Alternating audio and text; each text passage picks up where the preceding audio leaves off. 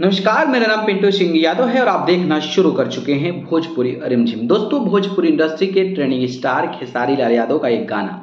भाँग के स्वाद, जो कि खेसारी लाल यादव और शिल्पी राज की आवाज़ में था। कल ये गाना पूरे देश में नंबर वन और म्यूज़िक सेक्शन में भी नंबर वन पर ट्रेंड कर रहा था, लेकिन शाहरुख खान का गाना ज़िंदा बंदा आ गया, जिसकी वजह से ये गाना अब पूरे देश में और पूरे म्यूज़िक सेक्शन में दूसरे नंबर पर ट्रेंड कर रहा है।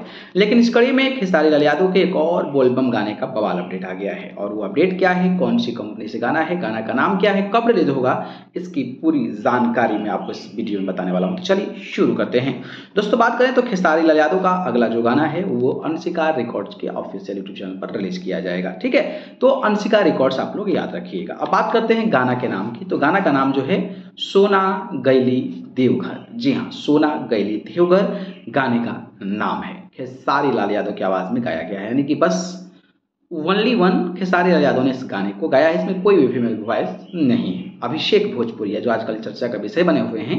उन्होंने इस गाने को लिखा है और अपने खुद खूबसूरत म्यूज़िक कंपोजिशन के लिए जाने जाने वाले आर्य शर्मा ने इस गाने का म्यूज़िक कंपोज किया है। कमलेश कुमार इस गाने को डिजिटल संभाल रहे हैं। आशीष सत्यार्थी इस गाने के वीडियो डायरेक्टर हैं और सनी सिंह इस गाने के कोरियोग्राफर हैं। जी हाँ बात करें और इस गाने में जो अभिनेत्री नज़र आएँगी वो निकिता भारद्वाज हैं। तो निकिता भारद्वाज अच्छी अभिनेत्री हैं और खेसारी के साथ आई थिंक एक दो गाने में नज़र भी आ चुकी हैं।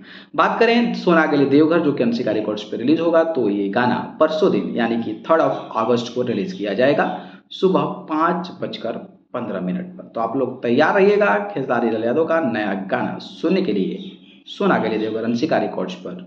तीन अगस्त को पाँच बजकर पंद्रह मिनट पर। बाकी इस गाने को लेकर आप कितना ज़्यादा एक्साइटेड हैं और भाँग के स्वाद गाना कैसा लग रहा है कमेंट बॉक्स में बताइए। धन्यवाद।